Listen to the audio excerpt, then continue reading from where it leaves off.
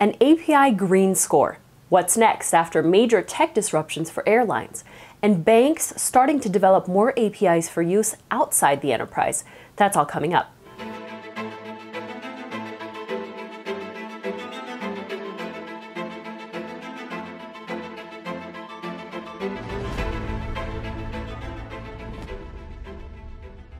Hello, I'm Lydia DeFranchi with the Digital News Desk, a quick digest of digital transformation and API news to know.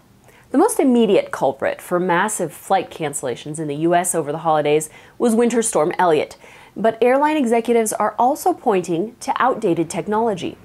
The FAA's system outage in January further damaged confidence in the industry, grounding nearly 11,000 flights nationwide for several hours.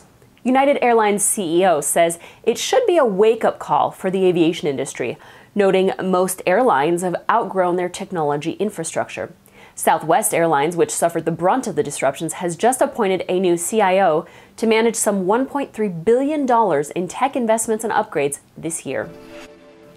Companies are getting familiar with energy efficiency labels for offices, for example. But what about for the less tangible assets like APIs? The API Thinking Collective has come up with an API Green Score designed to help practitioners consider the environmental impact of their IT structures. The French think tank offers a best practices guide and score sheet to help measure and reduce the carbon footprint of APIs. What's interesting is because a lot of these environmental best practices are less wasteful of resources, they also align with smart business practices. For example, reducing duplication of data or bundling APIs in a customer centric way so apps don't need to call multiple APIs separately.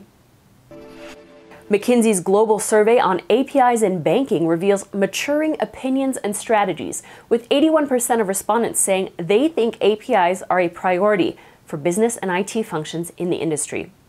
There's still some disconnect when it comes to aligning these priorities with business objectives, though. Three quarters of today's APIs are still internal, and IT leaders surveyed say some organizations continue to not understand what APIs are and how the business can benefit from them. As Axway's head of open banking, Eyal Sivan, points out, growing consensus and regulation around technical standards make it easier than ever before for banks to take advantage of the value open banking has to offer.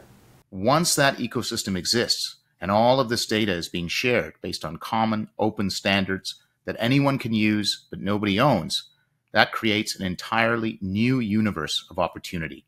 Suddenly, banks can get to customers that they couldn't reach before. They can offer capabilities through fintech partnerships that are unable for them to create themselves.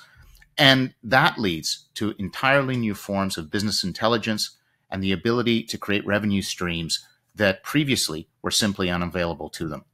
Some encouraging results from the survey in that direction. Financial institutions are shifting their API goals from cost savings to monetization, and they're seeing an emerging focus on opening up more APIs to partners and third parties. That's it for us today. Check out the link below if you want to dive deeper on any of these stories, and thanks for watching.